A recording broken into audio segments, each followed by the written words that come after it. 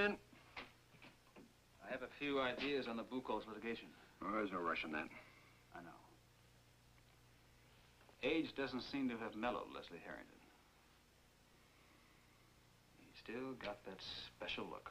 What look is that? One reserved for people he's employing. My mother used to get it. The coffee was cold or the beef was too well done. What are you trying to say? I just had the feeling that he looked dissatisfied when he left here, that's all. You're right. He was dissatisfied. Did he suggest that it might be better to get another attorney to handle Rodney's defense? From Boston or New York? No. I suggested. You look as if you're trying to make up your mind whether to rush for the lifeboats or congratulate me on a victory. Guilty as charged. Mr. Harrington decided it'd be merit in having a local lawyer. He felt that bringing in a well-known criminal lawyer might create resistance as well as the implication of guilt. That sounds smart to me. I don't know if it is. It's a full-time job working at Tightrope, isn't it, Steven? Mr. Dowell, I want to help you defend Rodney Harrington. I imagine you do. But why? Because you think he's innocent or because you admire and respect him and wish only the best for him? Well, there's no love lost between Rodney and me. But I never let sentiments interfere with my career. I believe that. Well, then believe this, Mr. Dowell. I want to help you defend Rodney. I want to help you get Rodney acquitted for a purely selfish reason. He's Martin Peyton's grandson. I believe that, too. Well, then let's look at what the prosecution has. The statement of the Schuster child. Fowler wouldn't base a murder case on a child's word alone. She's the only eyewitness. Fowler must have something more than that. Think so, too. I think he must have something that proves that Rodney had a motive. That Rodney's act was premeditated. Oh, I don't for a moment believe that proof of that exists. Mr. Dow, we both know that Fowler is no fool. Now, if I could investigate, I could find that he had an apparent motive. Who would you talk to? There's a lot of people in Peyton Place that are involved in this. Specifically. Norman and Rita to begin with? Do you know something more about this? No, I just have a feeling. Betty Anderson would talk to me. You'd exploit your relationship with Betty? I'm sure she'd want to do everything possible to help Rodney. And Norman and Rita would trust you enough to confide in you? I'm sure they would. The Chernak family? I went to grade school with Stella. How well do you know her? She's a hard girl to know. May I go to work on this, sir? Looks as if you already have. Thank you, Mr. Dow. Steven, I hope your suspicions are wrong. I hope so too, sir. But I doubt it.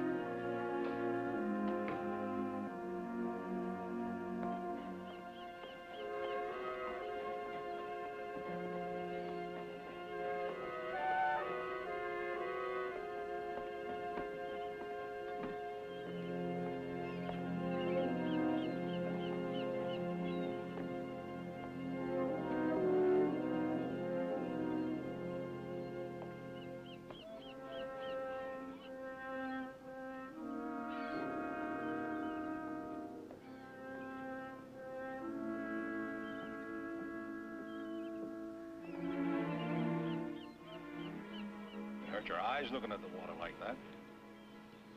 Following me, Papa? Oh, man can starve waiting for you to come back with the groceries. What are you doing down here? I saw Joey here the first night he came back. So you came looking for him again? Joey's here. That's the only place you'll find him now.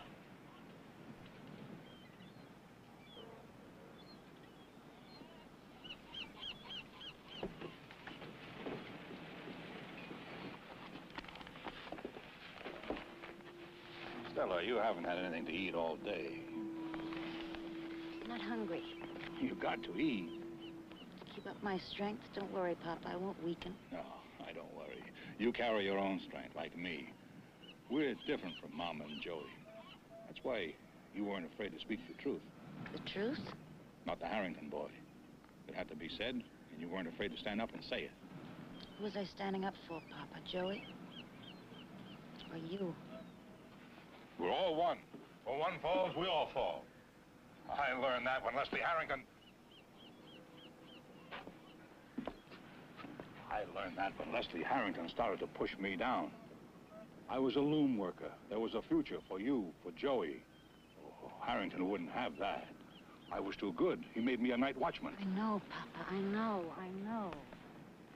It'll be different now, better. You see. For me and you and Mama.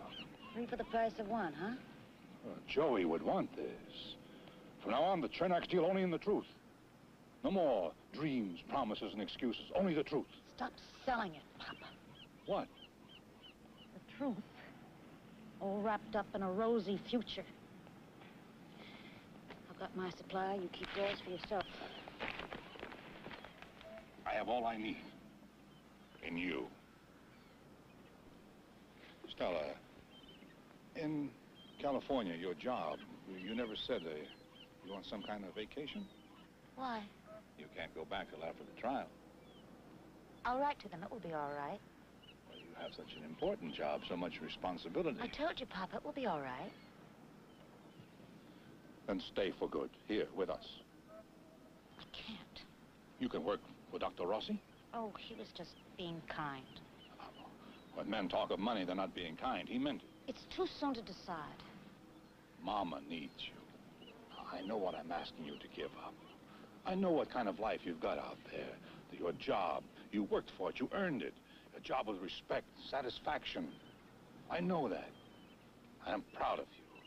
I know sometimes I don't sound it, but I know what you've done. Papa. Stella, none of us can go back now.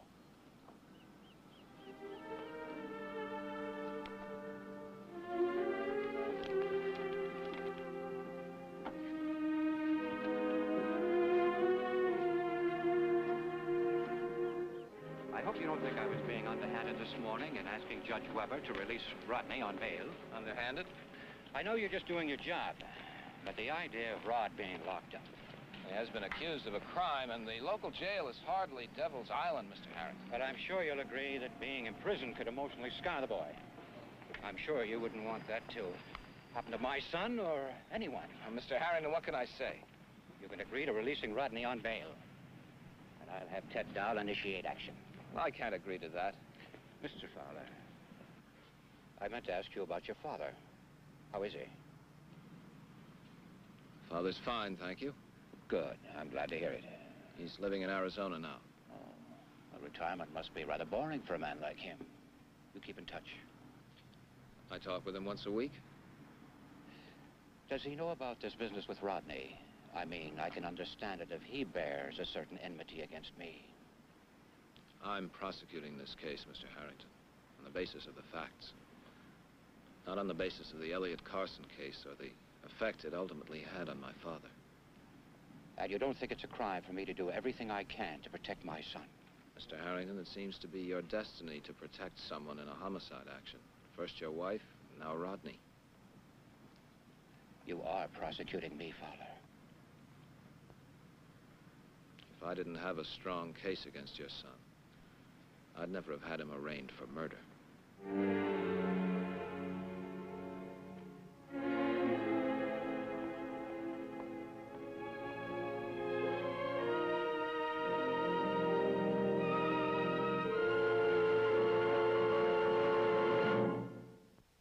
Preview from the continuing story of Peyton Place.